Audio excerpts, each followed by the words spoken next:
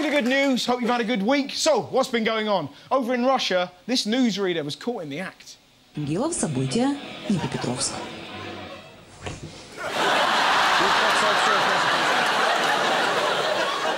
Did anyone else see Stevie Wonder parking his car on the news?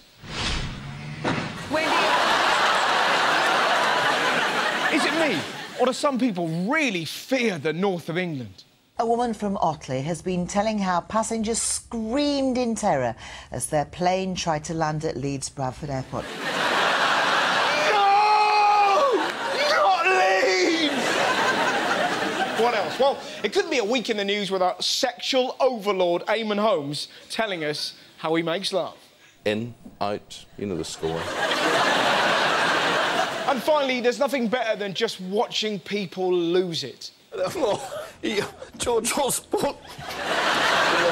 right? He denies it, right? He denies it. Nevertheless, it's come back because she, he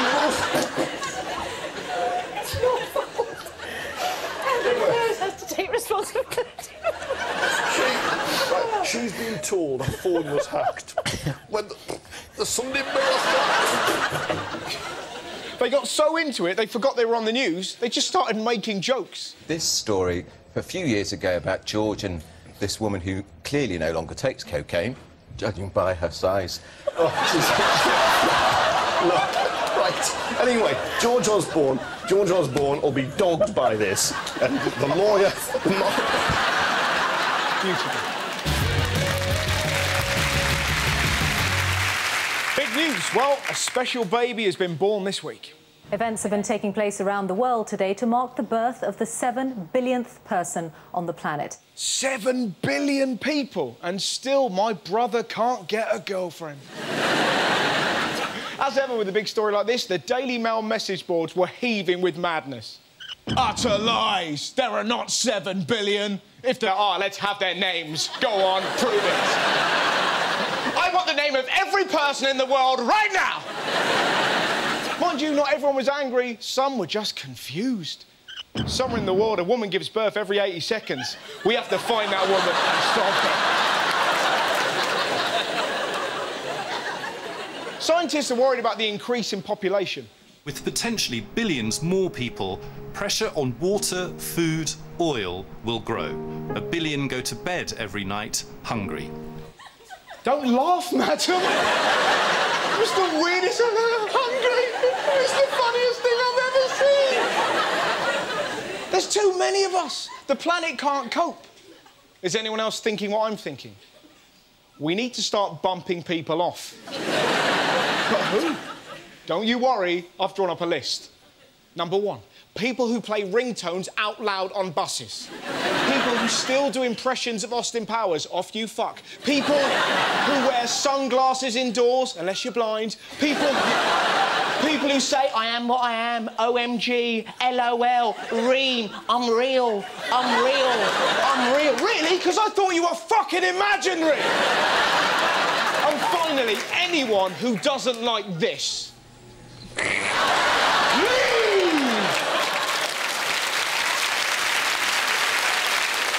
Back in Blighty, Occupy London was hitting the headlines. Protesters could remain camped outside St Paul's until the new year after authorities offered to halt legal action. Aside from the controversy about vicars losing their jobs and evictions, I couldn't take my eyes off the protesters. They gave some amazing interviews. This guy started off by moaning about the lives of the rich. They still have their lavish dinners. They still have their um, uh, chauffeur-driven rolls. They still have their butlers and their mansions. All good points, but then he really lost it. We're at home with our top shop beans, like separating each bean onto its plate for our children. Top shop beans? No wonder his kids are upset. He's feeding them jumpers. My favourite protester was an Australian man called Francis Firebrace. This old fella is wonderful. You can't hold me because I'm not doing any harm to anybody. I'm an elderly man. Come on, use your bloody mouse a bit. Come on, guys. I love you guys. Isn't that great? I love you guys. Just goes to show. If you're going to protest, you don't have to be violent. Okay, boys, which one of you fellas have I got to fight? Or if your eyes out Then stick him up your didgeridoo!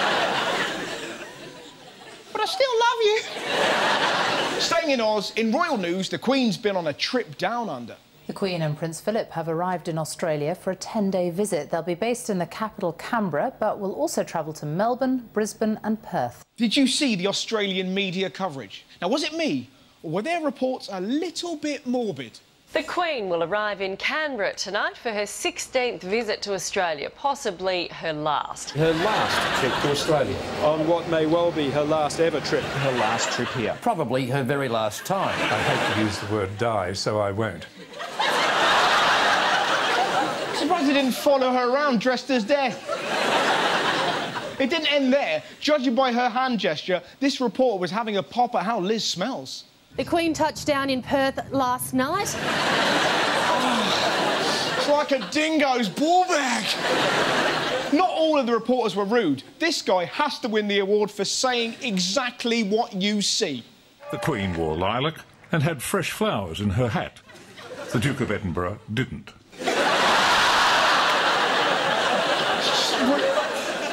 Later on, she'll be waving, using her hand.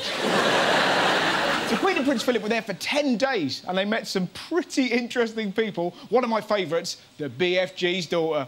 Basketball player Elizabeth Cambage towered over the royal couple as they continued their apparently triumphant Australian journey. I love the moment when the Queen sees her. Hello, you holy shit! Look, Philip. Bloody hell. She's higher than Prince Harry. Let's climb her. The biggest scandal of the trip was definitely this. In Brisbane, 22-year-old Liam Warrener appeared in court after he bared his butt cheeks to the royal motorcade and mooned the Queen. Classic Aussie behaviour. It's the Queen. I better flash her my shit pipe. so, how did the royals react? I bet they were terrified. The prince gave me a nice wave. It, it was lovely. Hello. It's like a yawning Wookie.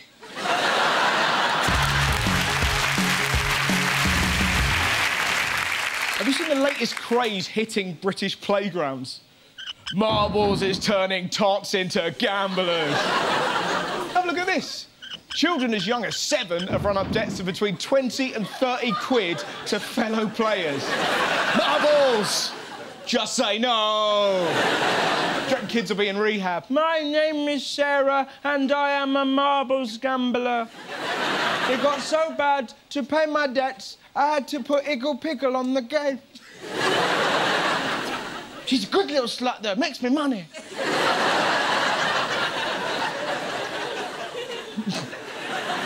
It's a bit full on, Sarah. Yeah, it's just how I get when I'm pimping. Have you seen where they're getting the money? They're stealing cash, DVDs, and computer games. Don't steal from your parents. Surely the best way to make money, blackmail. Take a photo of yourself naked, put it in your teacher's bag, threaten to go to the papers. Easy money. Over in Russia, there's an alarming promotion in a sex shop. Casanova 69 is offering kids and adults the chance to win an unspecified gift from the chain if they can answer one simple question. Where do babies come from? That's right. A Russian sex shop is offering children an unspecified gift if they can tell them where babies come from. I mean, it makes obvious sense, doesn't it? Remember when you were little, how much you wanted something from a sex shop? I remember Christmas. Dear Santa, please can I have some crayons, a bike, and a vibrating butt plug? I never got that bike.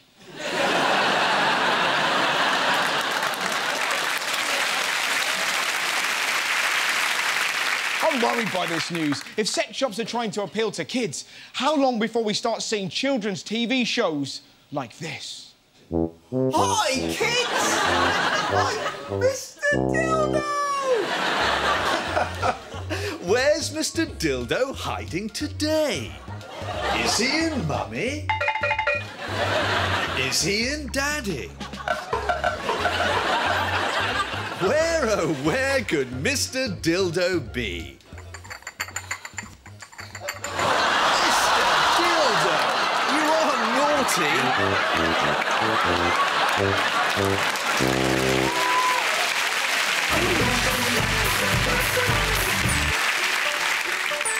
Technology news. The iPhone is having a wee bit of bother in Scotland. It created quite some excitement among techno geeks when it was launched in London less than two weeks ago. But now the new iPhone 4S is instead creating confusion. Is it a nice day? Let's see what it says. I don't know what you mean by. Is it NAST says? That's right, the latest iPhone can't understand Scottish people. Direct this phone's in Glasgow going, I do not know where the nearest smack dealer is. I will find one when you have finished school. to be honest, it's little wonder the iPhone's confused. Scottish people are asking it some pretty weird questions. Do you like men? This is about you, not me. Remind me to clean my ass cheeks once I've taken a dump.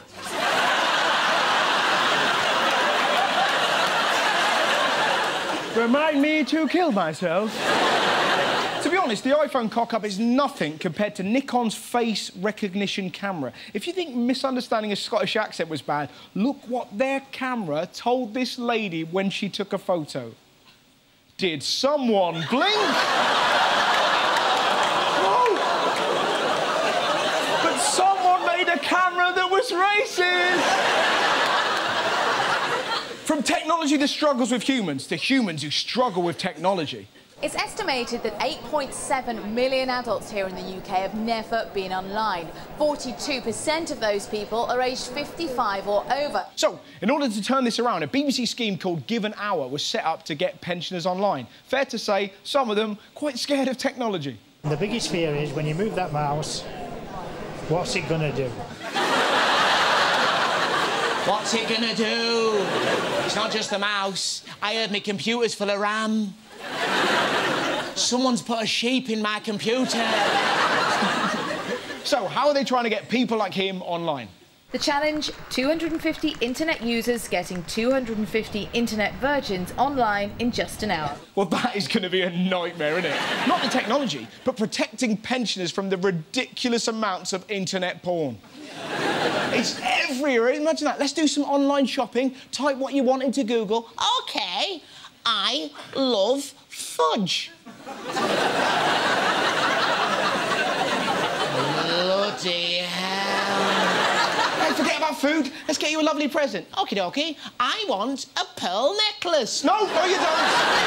Let's get you a scarf. I don't want a scarf. I want a pearl necklace. Stop saying that. Now, despite the dangers, I think it's great that pensioners are getting online because otherwise they'd miss out on things like this.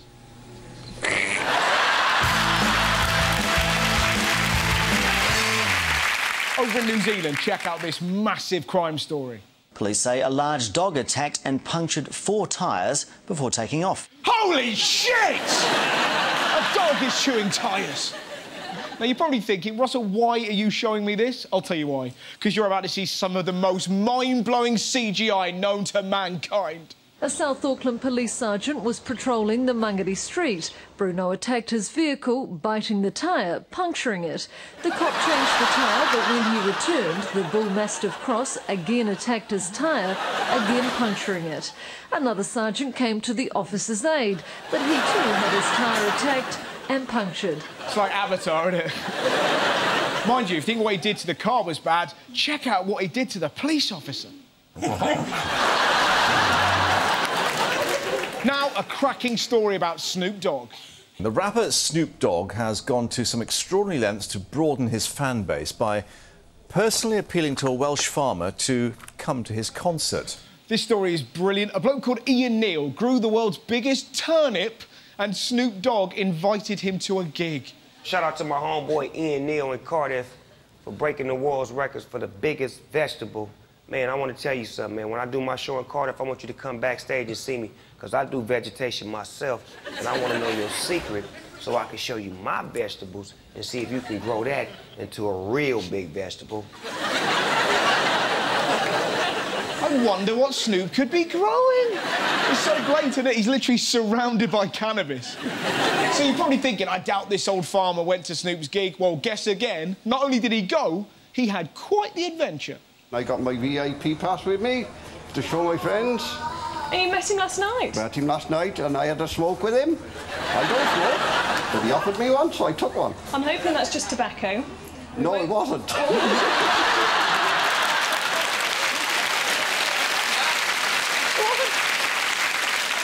Why do you think I'm wearing this shirt? I'm off my tits. I feel like I'm in a fruit bowl. So, how long did you have with Snoop? ten minutes. There was there was four of us all together in my party, and we had ten minutes with him. Yes. And What, what else did you chat about? No idea. His stuff was so strong, my shirt started talking to me. I love how he sums up the concert. Yes, it, it was an experience. In fact, I'm still deaf. Mind you, if he's deaf, at least he couldn't hear this. Should I stay or should I go? Go. and take your pubic lice with you. He crucified that classic song. Over in Scotland, here's a report about an eating competition that ended in disaster. An Indian restaurant in Edinburgh has been criticised after its world's hottest chili competition left two people in hospital. Hospital? Was the chili contest? My ass doesn't work. I know what you're thinking. If only this story had happened in New Zealand. Imagine the graphics they'd have shown in the news.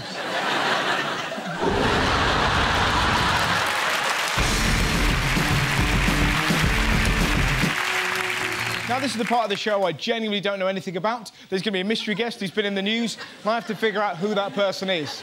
So please welcome my mystery guest.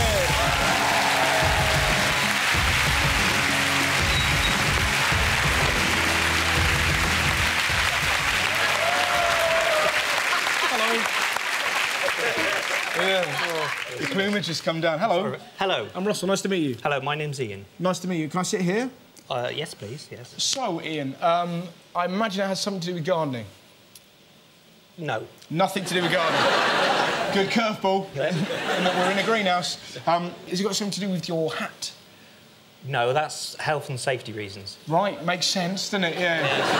you know, health and safety making you dress like a bullock. Um, good laugh, nice. Um, that was a beautiful. That was like a, the kind of laugh a man who should be next to a fire. Pull finger. That's close. Fire's close. Yes, yes. Are you the fire starter? No. Twisted fire starter. no, no. Do you smack your bitch up? No, no, no. You'll piss yourself when you get it. Nice.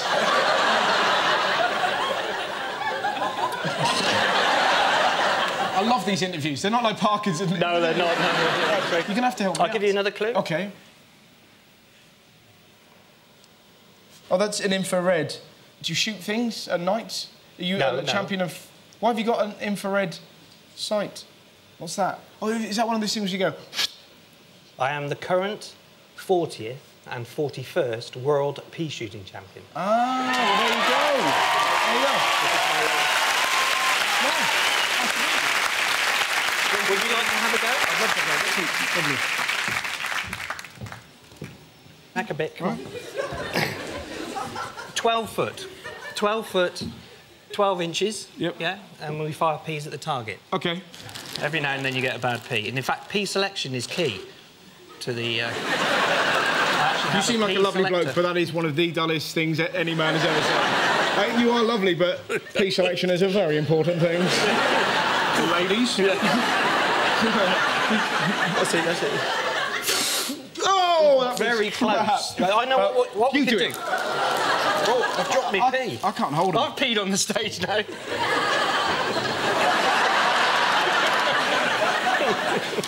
Oh!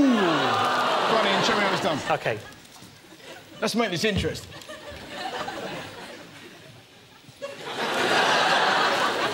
Actually, hang on a minute. This will be like a really Wh- weird recreation of how.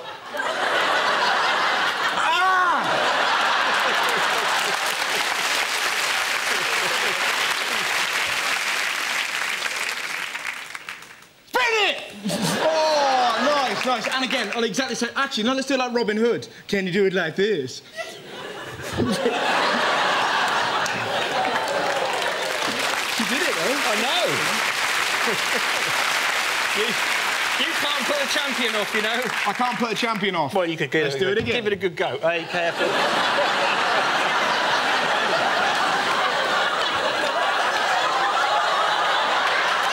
Oh, we can't! We can't!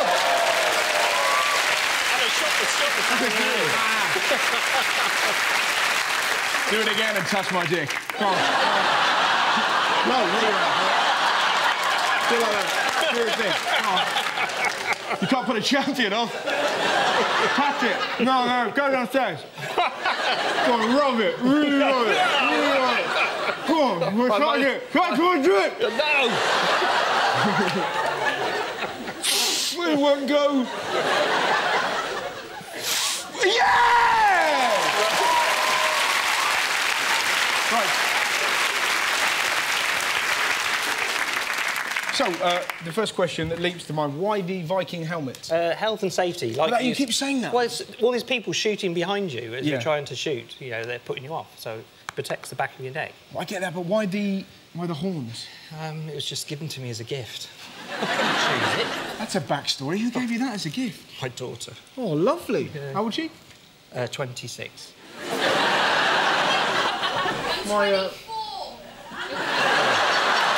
Did you hear that? Oh, oh no. Oh, no. So that, that's on telly. It changes every year. That's, that's, that's on telly and forever. Well, I enjoyed that. Nice to meet you. Thank you very Genuine much. pleasure. Ladies and gentlemen, please give up for my mystery guest! Russell. What? Um, I was on the news uh, for something else actually as well. I um. Ian. I uh. Ian. I, I trimmed a bush. I, tri- I trimmed a bush into uh, an obscene shape, a todgery type, todgery type shape. So you turned your, your bush into a penis? Yes, that's not that's not often been done.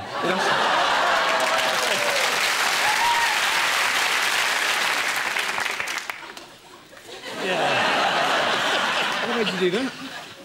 Uh, I couldn't do a dog. Please give up to my mystery guest!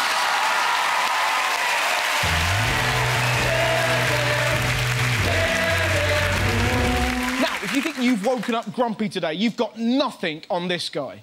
Confused and angry. An elderly man in a morgue in South Africa. Led away from the premises after he was found alive in the mortician's fridge. Workers thought he had died the day before. Imagine waking up in a morgue. It'd be horrific. Mind you, if that were me, I'd have to take the piss. When they pulled me out, I'd freak them out and do the thriller dance. what I want to know, how the hell did this happen? His family asked the morgue to collect his body after they could not wake him. How shit are his family? now he's dead. Whack him in the fridge. Grandad will never sleep again. What do you want for dinner? Red Bull and cocaine!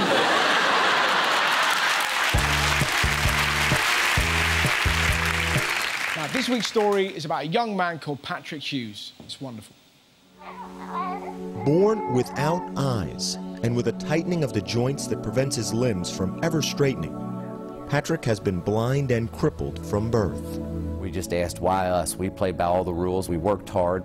We just didn't understand. Kisses for Dad. That heartbreak began to fade even before Patrick's first birthday from his first moments at the family's piano. By his second birthday, he was playing requests. Can you play You Are My Sunshine?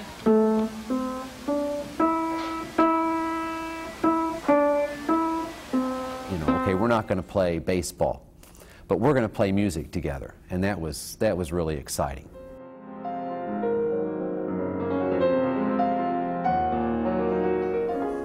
He's he's my hero. I've told him before. Uh, what he goes through, it's taught me that I don't really have any complaints.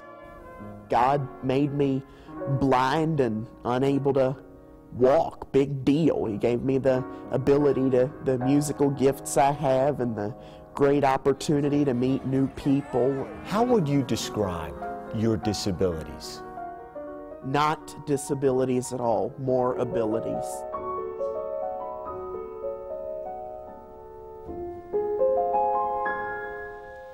Lovely, wasn't it? Ladies and gentlemen, thank you very much for watching Good News. Good night.